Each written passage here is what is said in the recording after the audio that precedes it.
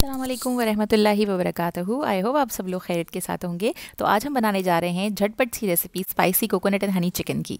तो ये टिक्का है चिकन टिक्का की रेसिपी है और इसके अंदर कोकोनट और हनी दोनों का इस्तेमाल होता है। बहुत जल्दी बन जाता है, बहुत स्पाइसी और बहुत बहुत ही ज़्यादा टेस्टी होता है। तो चलिए इसे बनाना स्टार्ट स्टार्ट करते हैं। बिसमिल्लाम तो यहाँ पर मैंने बोनलेस चिकन क्यूब्स लिए हैं। ये टू इंच पीसेज हैं चिकन क्यूब्स के और ये फोर हंड्रेड ग्राम्स हैं वेट में। और साथ में हमको मैरिनेट करने के लिए चिकन को जो चीज़ें चाहिए हैं वो है यहाँ पर मैंने थिक योगर्ट ली है क्वार्टर कप ये आप कह सकते हैं चार बड़े चम्मच है, one four tablespoon one and half tablespoon ginger garlic का पेस्ट है वन टी स्पून सॉल्ट है वन टी स्पून गर्म मसाला है और हाफ़ टी स्पून मैंने यहाँ पर काली मिर्चों का पाउडर लिया है, कुटी हुई काली मिर्चें हैं हाफ़ टी स्पून के करीब।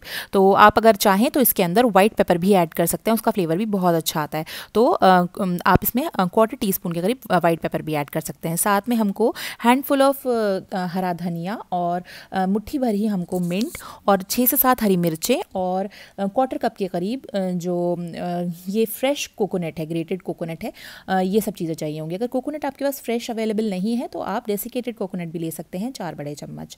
अब हम इन सब चीज़ों को पीस लेंगे तो मैंने यहाँ पे इसकी चटनी सी बन जाती है, इसको पीस लिया है और अब इसको हम चिकन के पीसेस के अंदर ऐड कर देंगे। चिकन टिक्का पीसेस के अंदर हमने ये ग्रीन चटनी जो थी, हमारी हरा धनिया, पुदीना, हरी मिर्चें, ये सब इसके अंदर डाल दिया है और कोकोनट के साथ और बाकी के जो हमारे मसाले थे, वो भी हमने इसमें डाल दी। अब हम इन सब चीज़ों को करेंगे अच्छे से मिक्स मिक्स मिक्स और मिक्स करने के लिए आप बच्चों की हेल्प भी ले सकते हैं, क्योंकि उनको मिक्सिंग में बड़ा मज़ा आता है तो यहाँ पर इस तरह से ही चिकन हो गया है अच्छे से मिक्स और अब हम इसे मैरिनेट करने के लिए एक घंटे के लिए रख देंगे और एक घंटे के बाद हम पैन में थोड़ा सा ऑयल लेंगे। कोई सभी जो आप ऑयल ले सकते हैं, मैंने यहाँ पर वेजिटेबल ऑयल लिया है टू टेबल स्पून और उसके अंदर इस सारे चिकन को मैं अच्छे से कुक कर लूँगी। आप चाहें तो इसको स्क्वीवर्स के अंदर लगा कर आप इसे अवन में भी ग्रिल कर सकते हैं अवन के अंदर भी रख के इसे कुक कर सकते हैं। तो यहाँ मैंने पैन के अंदर ही कुक किया है। आठ से दस मिनट में मीडियम टू हाई फ्लेम के ऊपर ये आराम से कुक हो जाता है। ये देखिए ये हमारे चिकन टिक्का जो हैं वो कुक हो गए। तो चलिए करते हैं इसकी प्लेटिंग। तो इसको प्लेट में मैं निकालूँगी और प्लेट में निकालने के बाद हम इसके ऊपर थोड़ी सी ऊपर से सेजमी सीड्स ये रोस्टेड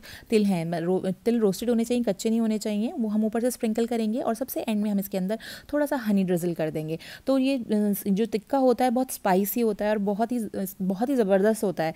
साथ में इसके इसके अंदर टच ऑफ़ हनी जो है ना वो बहुत ही गज़ब का लगता है। मतलब कि हनी के साथ इसका फ्लेवर बहुत अच्छा लगता है। तो अगर आपको हनी पसंद है तो इसे ज़रूर डालिएगा और नहीं पसंद है तो आप इसे स्किप कर दीजिए।